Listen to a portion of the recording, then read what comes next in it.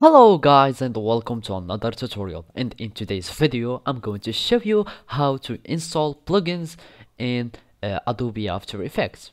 So first we need to go to Adobe After Effects file installation or where you install the, the software. So basically just go to uh, the Windows menu and just go for After Effects and here click open in the destination file.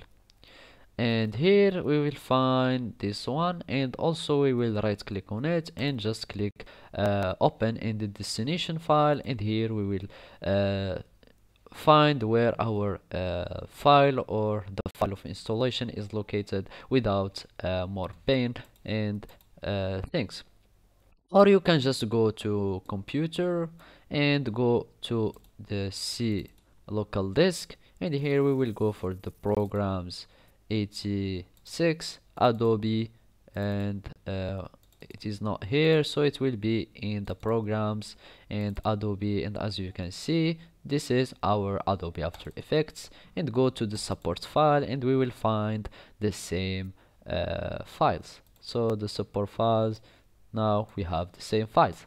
Basically now we want to go to the plugins files uh, to add our plugins. So basically here we have our plugins and we go to effect and now you can just install your plugin by putting it here. If you just uh, downloaded some AEX uh, file or you can just create a new file uh, I mean uh, a new folder and uh, create a new folder name it something uh, or with the name of uh, your plugin that you, you have just downloaded because obviously if you want to install a plugin you will have to download it somewhere in the internet. So when you download your plugins just add them here uh, create a file for each plugin that you want or you can just give them one folder and put them there.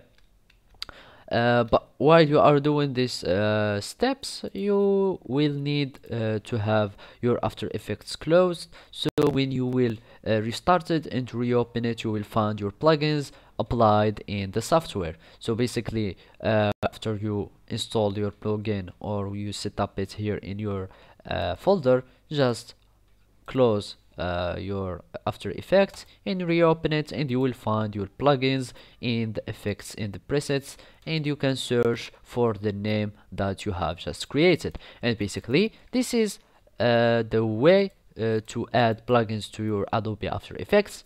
Thank you for watching and goodbye